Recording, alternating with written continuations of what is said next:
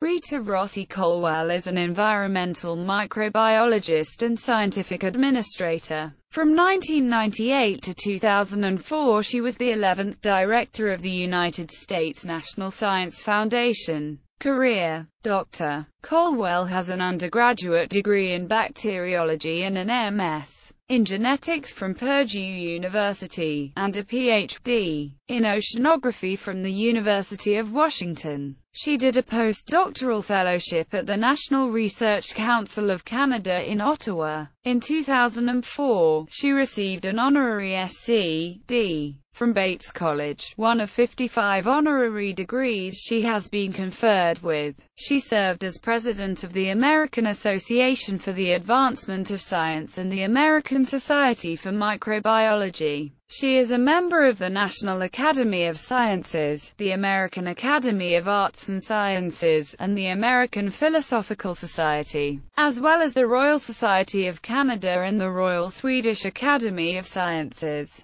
As of 2008, she serves as president of the American Institute of Biological Sciences. In 2004 Drive, Colwell left her position as director of NSF to become the chief scientist at Canon U.S. Life Sciences, a division of Canon. As of 2008, she was the chairman of Canon U.S. Life Sciences. She also returned to academic life as a distinguished professor at University of Maryland, College Park, as well as at the Johns Hopkins University Bloomberg School of Public Health. In 2006, Dr. Colwell received the National Medal of Science from United States President George W. Bush. She was the 2008 Leonard Brockington Visitor to Queen's University. She has authored or co-authored 17 books and more than 700 scientific publications. She produced the award-winning film Invisible Seas. She is a foreign fellow of Bangladesh Academy of Sciences. She is the 2010 recipient of the Stockholm Water Prize for her contributions to solving water-related public health problems.